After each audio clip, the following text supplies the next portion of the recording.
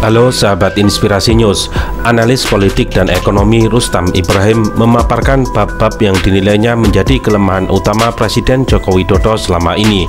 Pertama, menurut Rustam Ibrahim, Jokowi dinilai sangat kurang melibatkan peran civil society dalam perumusan kebijakan negara maupun implementasi program-program pembangunan sosial atau social development.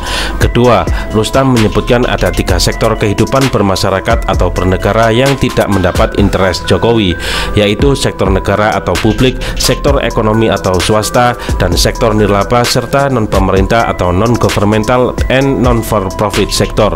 Sektor ini yang terdiri berbagai organisasi masyarakat, tampaknya tidak mendapat perhatian Presiden Jokowi, kata Rustam melalui akun Twitter yang dikutip suara.com Minggu 20 September 2020. Kelemahan yang ketiga, Presiden Jokowi dinilai Rustam Ibrahim banyak membahas tentang community participation dalam menangani pandemi corona.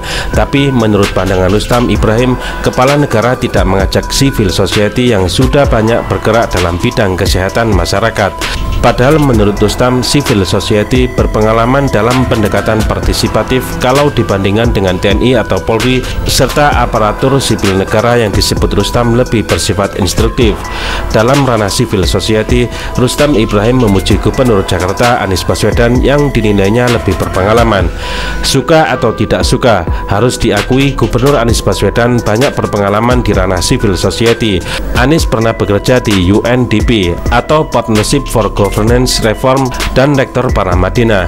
Anies tentu sangat paham dengan dunia CSO atau NGO.